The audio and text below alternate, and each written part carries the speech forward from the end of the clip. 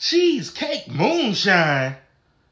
I'll have two slices, please. We gonna crack this puppy open and I'll tell you a little bit more about it.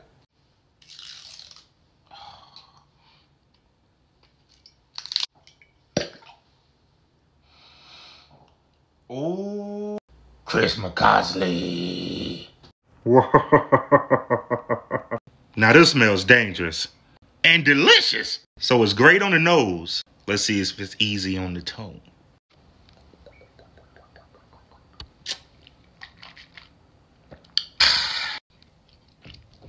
How'd you do that?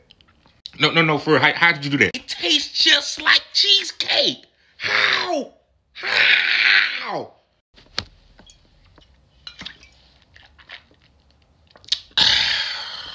I have to thank Chris McCausley himself.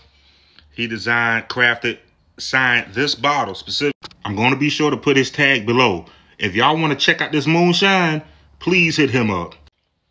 So now we know the outcome of pairing a master distiller with a passionate wood artist such as Chris McCausley himself.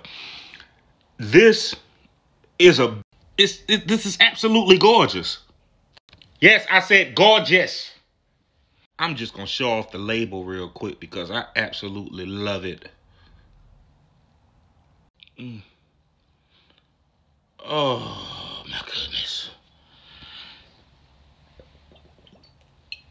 The fact that it's so smooth, so delicious, and it's not overwhelmingly sweet, that's what takes the cake. cake. Here's a little information for you alcoholicans who want to know. This is bottled at 35% alcohol by volume, which means it's 70 proof. Now, I know some of y'all like to get fucked up, but I have learned that you do not need a high proof liquor to get fucked Sometimes the, shit right here might do. Cause I feel good right now. Uh-oh, y'all. Uh-oh. Oh, I just got hot. I feel it coming. Na, na, na, na, na. I feel it coming, baby. Na, na, na.